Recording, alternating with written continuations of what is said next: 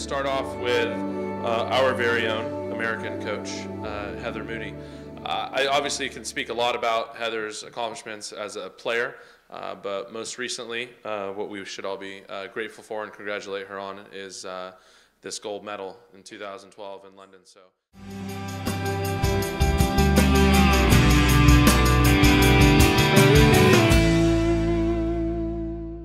In the centers, it's crucial that you have leg strength because you're going to be holding up a defender and trying to hold position. The other area that's really important is your vision, knowing where the ball is the whole entire time and being able to read and adapt to where the ball is if you have to change your positioning. And then patience. Patience is vitally important as a center because there's times you want the ball and there's no way it's going to get in there and you lose position and then you have to be patient enough to just counteract and wait for your opportunity and then attack. Um, the ability to play in the now. Um, it was talked about a little bit this morning in the Positive Coaching Alliance, but to like his comment was flush, flush it. You had a bad possession, you got an offensive call, whatever the situation is, but just being able to play in that moment because as a center, you're not going to get all the calls that you were looking for or hoping for, and there's a turnover, and you have to immediately start chasing and playing defense. You can't take a moment, pout, and then start to go back on defense. So playing in the now. Um, a controlled intensity, knowing when it's the time to be aggressive and then when it's the time to being mellow and waiting for that opportunity. So that goes back to your patience. And then back again to mental toughness. Because you never really know how the game is going to be called with the referees. The games could be called really tight. A team could be playing zone the whole entire time, so you could play a whole entire entire game and not touch the ball. Um, so those are some qualities that make the a good center.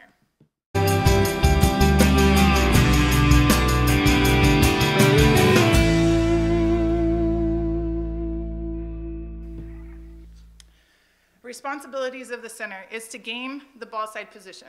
And then the other is like maintaining that ball side position. So you're relying on your perimeter players to get to the ball to the side of the pool that you want to hold. And once that happens, it's now your responsibility to maintain that. And then when the ball is coming in, is an explosive move towards that ball so you can cause the referee, get the referee's attention to make a call, give you an exclusion, get the separation that you need to get the shot off, or just get an ordinary foul.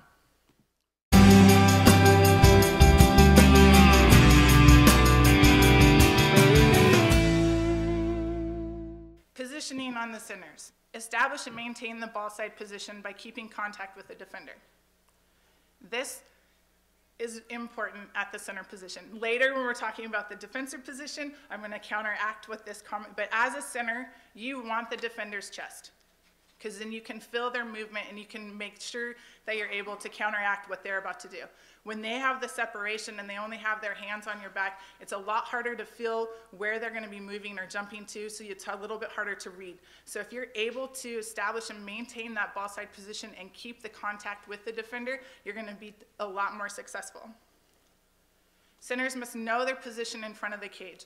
A lot of times there's players that are taking shots outside the post because we don't know where we are in the, in the cage. So in relationship to the cage, that location in the pool is really, really important. The ideal location is at the three meter line center cage. Doesn't happen all the time, but it's ideal. Base position. On the base position, the way that we teach it in the, the situation is it's basically like you're sitting in a chair. And you have your back slightly hunched, your chin is to your chest, shoulders are out of the water, slightly exposed, elbows are high, and your hands are sculling. And the reason that we do this is your body position is like you're just able to hold that positioning and you have an, a higher percentage of snapping and getting the separation and being over your legs. So when you're in that chair, your knees are high, and you think about, and the, the points that I always like to teaching points to kids is taking your hip bones and your rib cage and squishing it together. And you're making that curve in your back, the ideal curve, because that forces your shoulders to roll forward. You bring that hips, and you want to maintain your hips over your leg, like you don't want them in front or behind. So thinking about like taking those hip bones in the rib cage and just squishing them together as like just a good teaching point so they can think about like just small little things. The chin to the chest, it eliminates an offensive foul. You're not throwing your head back. You're going to have your chin to your chest, and especially when you're snapping and getting that separation, it's everything's going forward towards that ball. Shoulders out of the water, just getting the referee's attention, exposing what they're, what's happening to them from the defender's standpoint. I like the elbows raised and they're parallel with your shoulders because it makes you wider. You're not narrow because then that defender can get around you a little bit more. You're nice and wide and big and you're covering your responsibility. And then you're also able to dip and move a little bit to cover more water if the defender's moving more.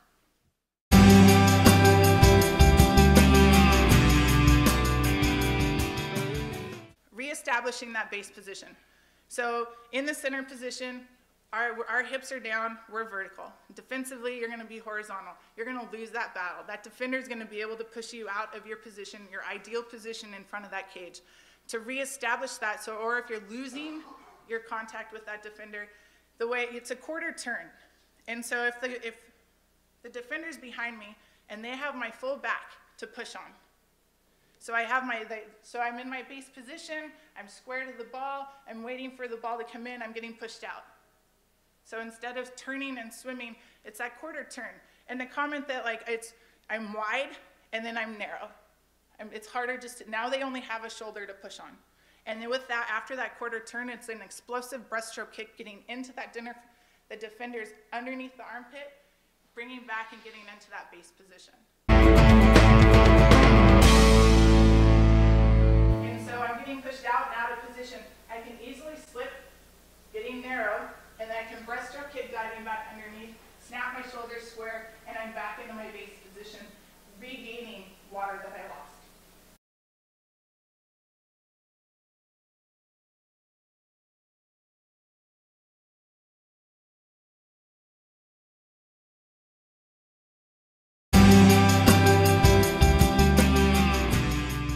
Face-to-face positioning. So most of the teams that we play against, they start in a press. And to kind of conserve energy with the center position, we start in a face-to-face position. So they are in front. The defender takes position, they're in a front position. We're gonna go into a face-to-face. That's facing your defender, arm to arm, maintaining space between you. You don't wanna be really tight because then you lose your momentum of driving back into that defender and making the defender back away and reposition. So you want to maintain a good distance between. But your arm and arm, bicep, tricep area is the ideal place that you're grabbing. Then the reasons is you're going to grab, you're going to turn, spin, and seal. But you're going to be there in this position for the sight line to the ball. You're going to conserve your energy. And especially for the women, it protects our suit because that zipper is so nice just to be able to control everyone.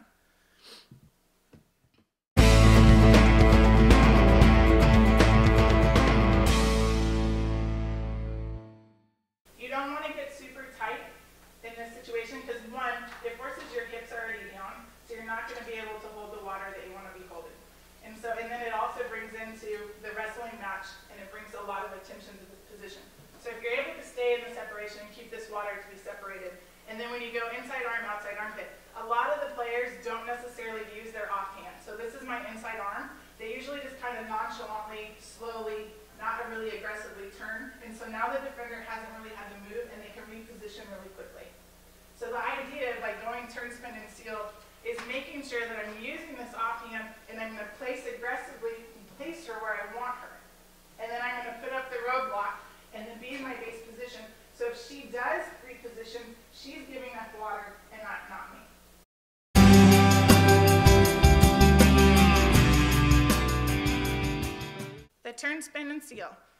movements need, the movement needs to be powerful and explosive.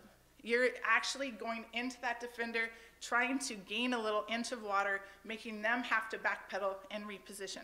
If it's just a casual, then they're able to reposition or even jump in front and maintain that front position. The turn, it centers inside arm to the cage. So the arm, so if the cage is behind me, it's this arm that's closest, the ball's over on this side of the pool. It's that inside arm to the outside armpit of the defender. I'm going to pull that defender and put my shoulder on that defender's armpit.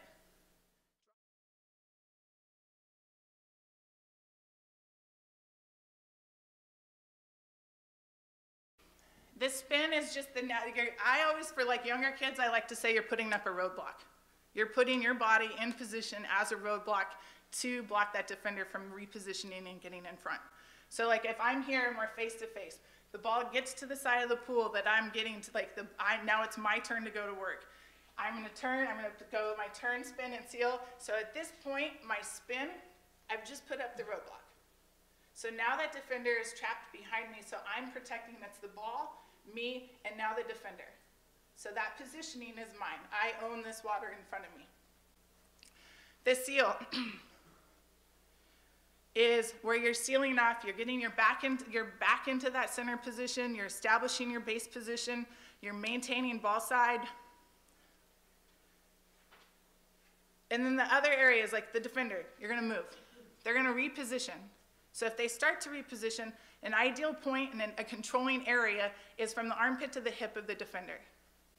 So if I have my hands out wide and the defender's moving to my left, I can actually just hook a little bit underneath that armpit and I can help pull my body and bring my chair with me. So I don't lose my base position, so if the ball does come in, I can react to that ball. So controlling that defender from the armpit to the hip with small little movements just to maintain that body position.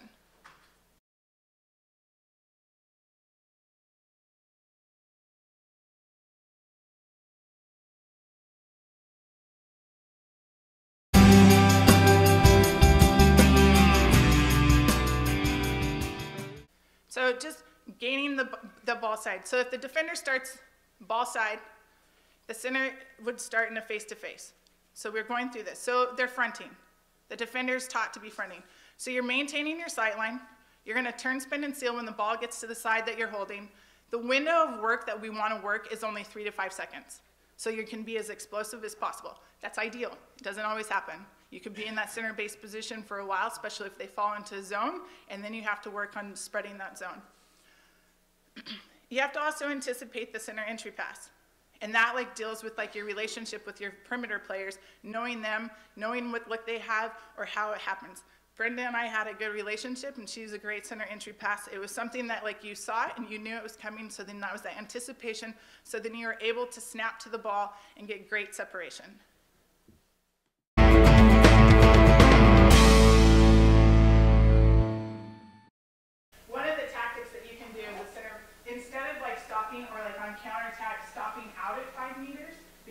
Pushes your next offensive line so far back, and she's ready and waiting, get to the two meter line. Get her a little bit deep, she'll take the front position, and then once you get to this position, you can move her out at a 45 degree angle. And that you want to go at a 45 degree angle because you don't want to go her strength against your strength, because then you're not really going to go anywhere. Legs against legs. If you move her out at a 45 degree angle, one, she might not realize how far she's going. So then the ball comes over, there's a skip pass, it gets down deep, or it's over on this side, I can go inside arm, outside arm, hit, turn, spin, and seal. Now I have a 45 degree angle to the water, the ball can land here, I have inside water. And it's a simple, and it's a 45 degree angle. If you have, because a lot of a lot of people, oh, she's waiting for me, she's in her front, still a counterattack. If the ball is in the position to hit the center at that time. So I'm coming down the pool, the ball's already deep. I can stop early and go to work here. So you're gonna have a quicker transition. If the ball's still with the goalie, get down to two, set it up, 45 degree angle, move her out, and then go from there. And it gives you just a different, it's an easier pass from like the one, the, the one, two, four, five sides. Because even if I'm in this position and John has the ball, he can place it in here and I have water to work with.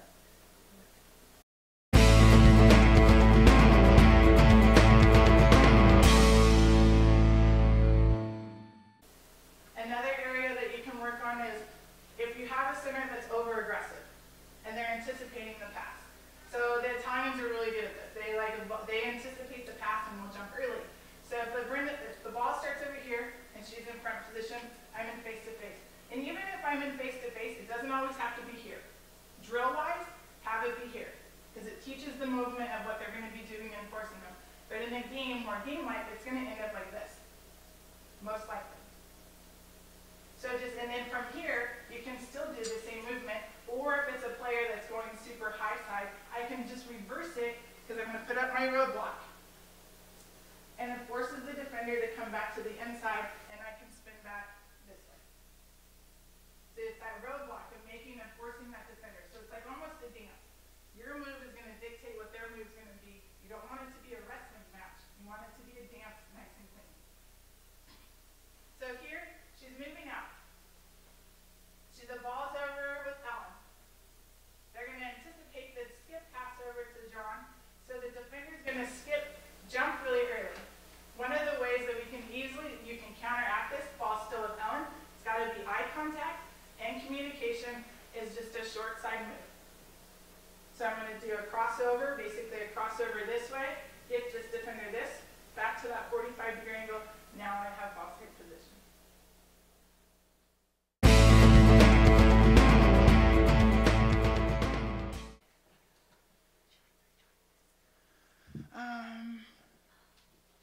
So on here, it's the move, the 45 degree angle.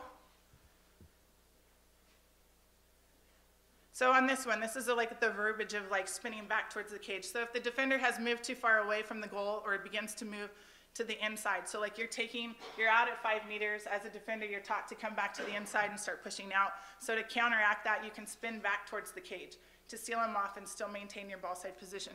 If you're not able to spin, like if the defender is like swimming or has a quicker stroke and they cover a lot more water than what your spin does, you can actually match their stroke. And then once you're swimming in, take the hand closest to the ball. So if the ball is over here with John and I'm swimming back to, I take the hand closest to where that ball is and I'm going to spin back in because I'm always putting up the roadblock. If you always think about putting your body as the blocking, that roadblock, then they're going to be able to maintain that ball side position. Uh, we demonstrated the short side technique, but it's just when that defender over anticipates everything.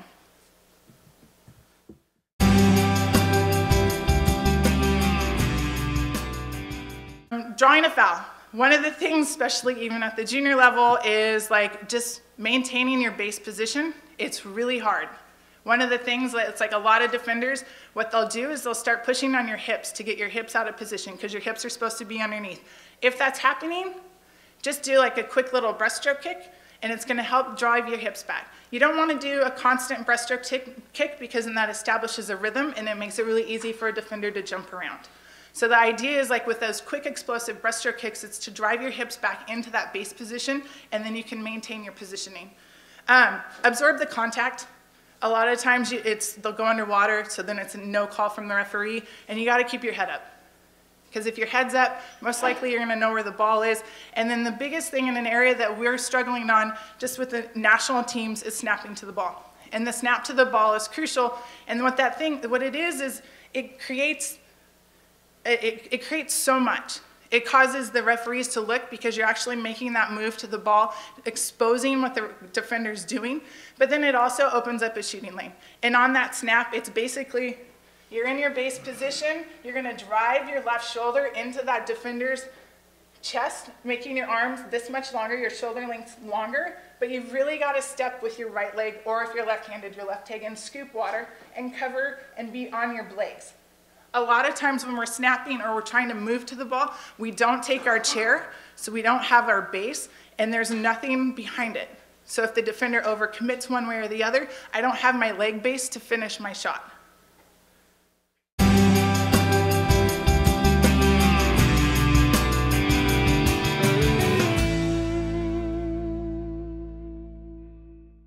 Some shooting factors, a big one, where the defender is. It's gonna dictate what your shot is. Um, if they're behind you, if they're in the front position, on the side, it really depends on what they are and how it's really gonna dictate what positioning and what your shots are.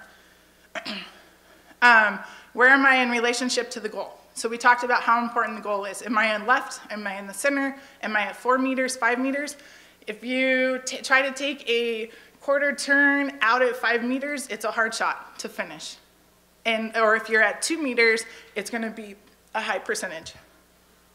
And then the other one is what type of center entry pass.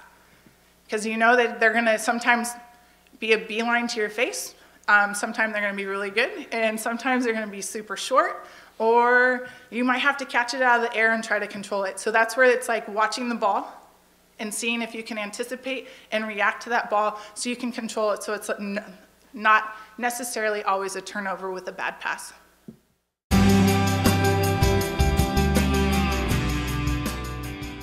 is exactly the same. Everything that you do in the center position starts out of your base.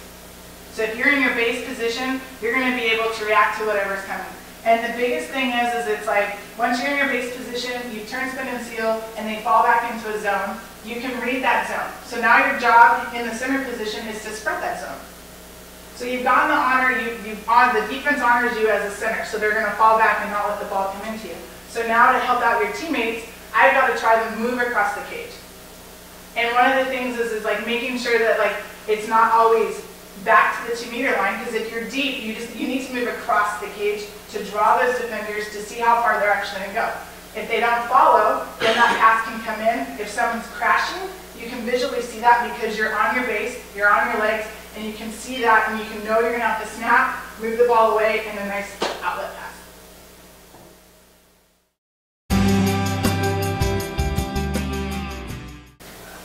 So if you have a defender that's grabbing your zipper, the zipper component, one of the easiest ways, so it's like the, se- it's separated. If you can just, one of the simple ones is what we talked about is the quarter turn, so you're exposing the super zap, grab, and then you can dive back in to try to get into position. If she still has hold, so she, and it doesn't work, you can spin, go back to face to face for a second, or just continue to spin and try to get back into your base. So it's a constant spin and breaking the hold. The other one is, there's the low, the low hip grab that pulls your hips, so there's something lower here. It's the same, if you spin away and knock the forearm a little bit, like in this situation, you can break the hold, get separation, and then go back into your base position. So there's always a way of like spinning. It's a lot of things that like, I don't, like, a lot of people, like if you're grabbing up here, they try to jump up and expose like to the referee, and you lose your momentum, and it gives that possibility for the defender, that means the defender wins. Because the referee might give it to him one time a game, and if you're constantly doing it, then it's, you're not necessarily working with your perimeter players to try to just overcome that adversity and hold your position. So it's more of like a quick spin. Um, if it's if it's really, really like in the face-to-face position and they've got this position, just a quick barrel roll, like where you're spinning always towards the outside elbow, because then they can't hold. And if they do, it can hurt. Because it's like if they do hold it and you're knocking that and they're still holding, it's really going to possibility of hyperextending the elbow on the fact of you're not sitting there like this, holding it, making it happen. If they choose to not let go, then it's going to hurt them. Not on purpose,